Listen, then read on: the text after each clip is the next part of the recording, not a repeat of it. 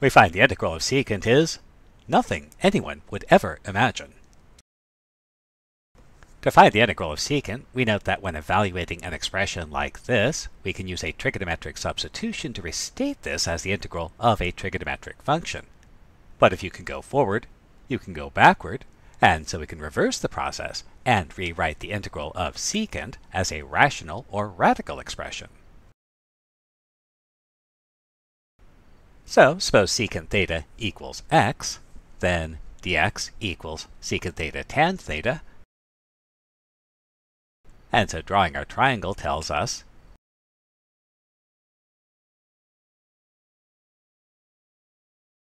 and consequently the integral of secant is, which we can't evaluate. So remember, if the first thing you try doesn't work, try something else. So if we quickly review our trigonometric substitutions, we note that the substitution that involves secant typically uses something like an x squared minus a squared. So what if we had an integral with x squared minus a squared? So for example, how about this integral? Now, we know we could do this using partial fractions to get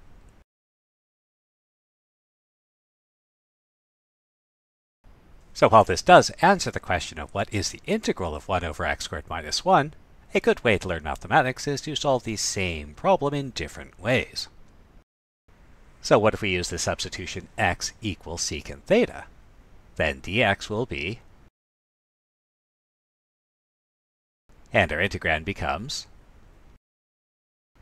now since secant squared theta minus 1 equals tangent squared theta, we can simplify our integrand and rewriting tangent as sine divided by cosine and secant as the reciprocal of cosine gives us. And we know the left-hand side because we can integrate it using partial fractions. And then since we use the substitution x equals secant theta, we get. And the secret to success is matching questions to answers. And so we find the integral of cosecant is but we wanted to find secant of theta. So remember, how you speak influences how you think. And that leads us to the following. The cofunctions are related. In particular, the cosine, cosecant, and cotangent are the sine, secant, and tangent of the complementary angles. And likewise, the sine, secant, and tangent are the cosine, cosecant, cotangent of the complementary angles. So that means if we want to find the integral of secant, well, it's really the same as the integral of cosecant of the complementary angle. We can use a u substitution. Our integral of cosecant. Put things back where you found them. And the secant of the complementary angle is the same as the cosecant of the angle. And so we have the integral of secant. And we can say that the integral of secant is equal to this thing. And a normal person would be happy that we solved the problem of finding the integral of secant. But mathematicians are not normal people. Sooner or later, it comes down to style. While this is true, it's an ugly mess, so let's try to simplify it. First of all, this negative log can be simplified. Negative log of a is the log of the reciprocal, and so we can invert our radical.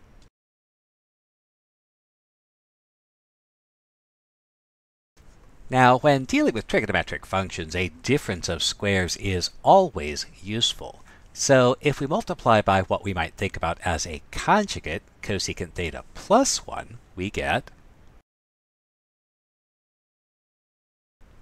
And since cotangent squared theta plus 1 equals cosecant squared theta, then we know that cosecant squared theta minus 1 is cotangent squared theta.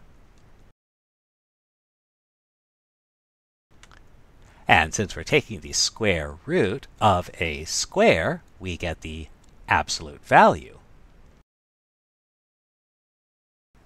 And we can simplify this a little bit further. cosecant is the reciprocal of sine, and cotangent is cosine divided by sine. This gives us a compound fraction, so if we multiply numerator and denominator by sine theta, we can simplify and split. And reciprocal cosine is secant, and sine over cosine is tangent. And so we get our final result. The integral of secant is log secant plus tangent, plus constant. Now, we note that the derivative will be which, if we factor, we can rewrite as So we claim that we find the integral of secant by multiplying by this expression because it's obvious we want to do that. We'll use a u substitution because this is the obvious u substitution, and that gives us the log, and there's our integral. Yeah, right, sure, that's how you found it.